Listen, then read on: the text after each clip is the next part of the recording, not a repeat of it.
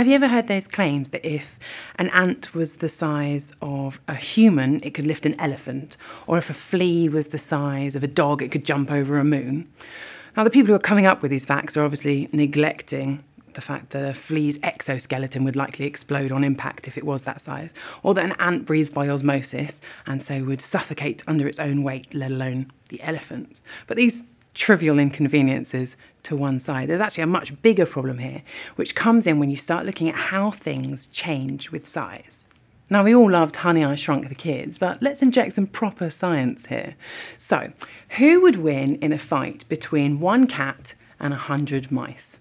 Now, a cat is roughly 100 times the size of a mouse, but it may surprise you to know that uh, my money is actually on the mice because I know that as things get bigger, they get relatively weaker.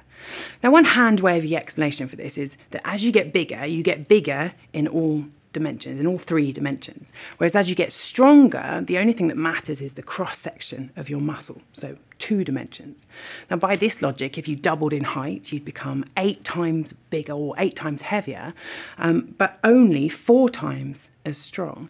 And this ratio, two dimensions to three dimensions, uh, is actually quite hotly debated because it comes up with some uh, slightly dodgy assumptions, such that all animals are shaped like spheres. Um, plus, some people think that the inside of your body is actually more like four dimensions and the cross section of your muscle is more like three dimensions. So the ratio should be a three to four. And that's probably something for another time. But this ratio of three to four is also what crops up when you start looking in nature at how the strength of animals changes with size.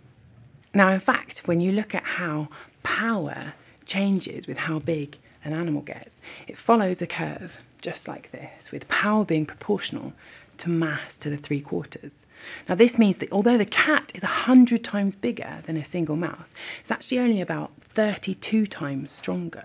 But it also means that an ant who, when he's this big, can lift five times his own body weight, if you scaled him up to human size, would only be able to lift one tenth of his body weight.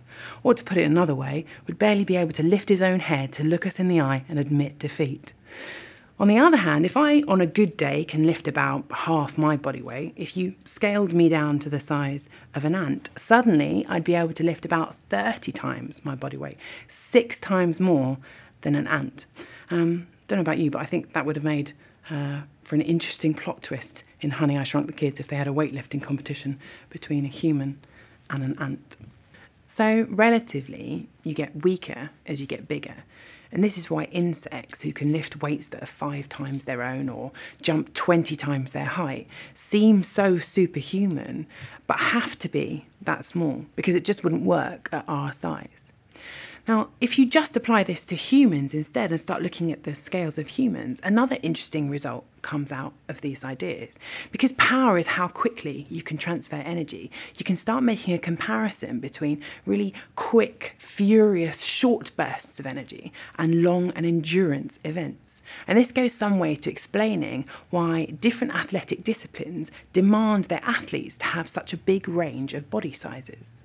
So this graph looks at the time that an activity takes you versus your ideal body size for doing it.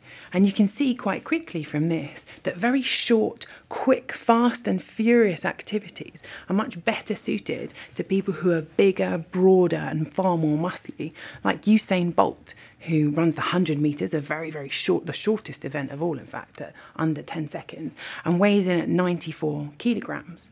On the other hand, at the other end of the spectrum, with really long events like marathon running or long distance running, ideally you want to be as skinny as you possibly can, which is why Mo Farah, amazing long distance runner and all round nice chap, weighs in at just a tiny 58 kilograms.